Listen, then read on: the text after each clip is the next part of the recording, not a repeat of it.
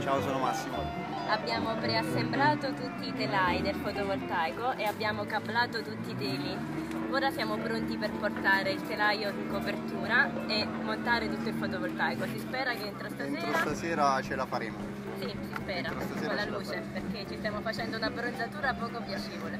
Qui fa un po' caldo però. Dai Versailles! Dai, Versailles.